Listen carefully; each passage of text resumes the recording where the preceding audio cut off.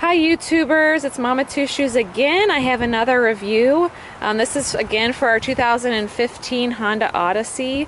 We have a one car garage and we do not park in the garage. So it was really important to me uh, to get a sunshade, especially for the summer months. And finding a sunshade for a van that's big enough was very difficult. I went to several different uh, websites and they were all too small and had to be returned.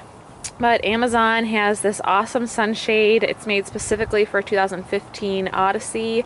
It is completely wide enough and it's really easy to install. You just unroll it and you can see there's a little tag hanging down there um, on the right and you velcro it. So you just roll it up, throw it in the back and it keeps all the heat out. It's going to protect my dash and keep the car from getting too hot. Hey, you can see me in there. Hi.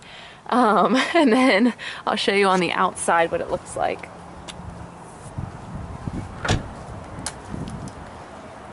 So yeah, it stays up really well. You just have to put the uh, sun visors down and it completely protects from each of the corners. So here's the label on it, heat shield and I will put a link in the description. So check it out on Amazon. Thanks, guys. Thanks for watching.